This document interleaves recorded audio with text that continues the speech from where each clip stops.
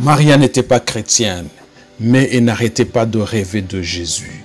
Elle a sacrifié une vache dans l'espoir que le rêve se termine, mais elle a quand même été dérangée toutes les nuits pendant une semaine.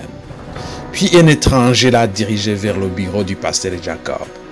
Alors que Maria décrivait ses rêves, le pasteur Jacob a commencé à sourire et a dit Gloire à Dieu. Maria était choquée et ne comprenait pas pourquoi il était si heureux. Le pasteur lui a dit Tu n'as pas besoin de faire d'autres sacrifices. Il a répété Dieu vous appelle. Maria lui répondit Je pense que ton Dieu a fait une erreur.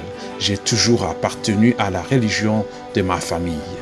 Le pasteur Jacob Ballet lui remit la Bible. Maria lui dit Je ne sais même pas lire. Pasteur Jacob lui demanda si quelqu'un dans la famille savait lire et il lui concéda qu'elle avait un cousin qui savait lire. Jacob écrit le nom de Maria à l'intérieur de la Bible.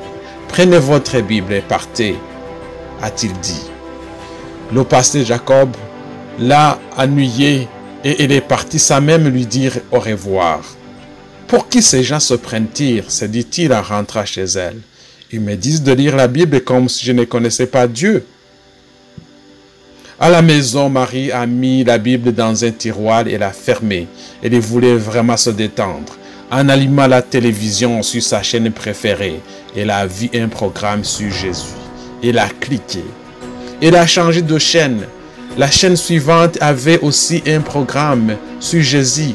Clique. Un autre programme sur Jésus. Maria a appelé son fournisseur de télévision par satellite. Elle s'est plainte. Qu'est-ce qui ne va pas avec vos chaînes?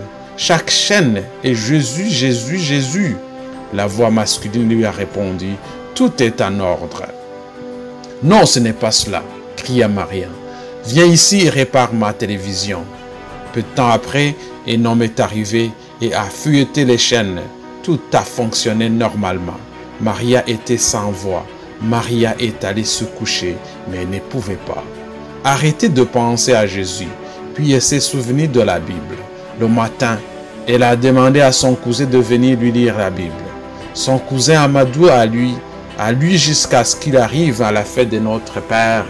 Es-tu erré, Maria? lui demanda-t-il. Maria lui a demandé de souligner les versets.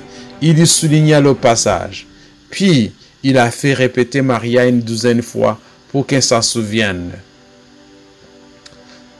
Ce soir-là, Maria a ramassé la Bible et a trouvé le texte sur Notre Père. Même si elle n'avait jamais appris à lire, elle a découvert qu'elle était capable de le lire.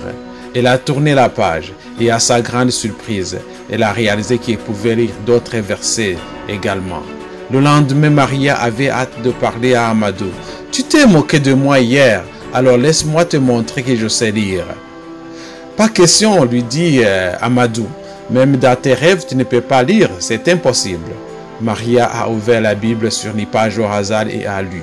Amadou a eu l'air surpris, puis effrayé. Comment as-tu fait cela? demanda-t-il. Maria a répondu en souriant, Si tu crois vraiment que tu es capable de faire quelque chose, tu peux la faire. À partir de ce moment-là, Maria a lu la Bible tous les jours. Elle a ensuite réalisé que c'était Jésus qui lui avait donné la capacité de lire la Bible. Et elle a Jésus dans son cœur.